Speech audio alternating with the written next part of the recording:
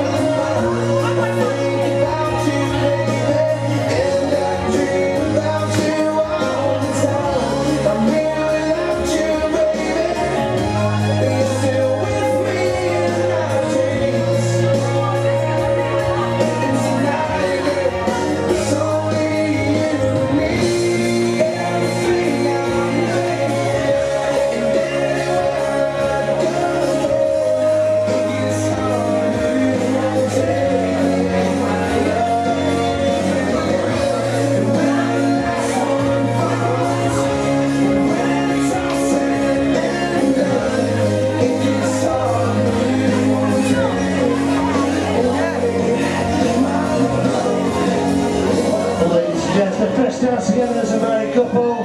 Let's make some noise!